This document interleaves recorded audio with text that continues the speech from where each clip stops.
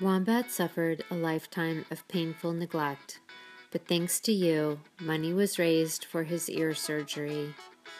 The surgeons and staff at the Oregon State Veterinary Hospital treated Wombat with skill and compassion.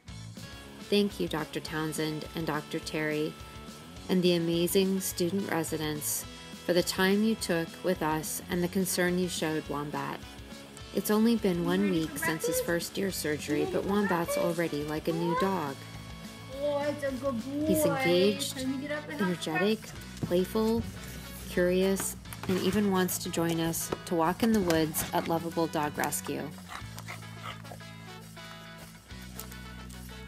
He's healing very well, and we should be able to schedule his second surgery very soon. We are halfway to a new pain free life for Wombat.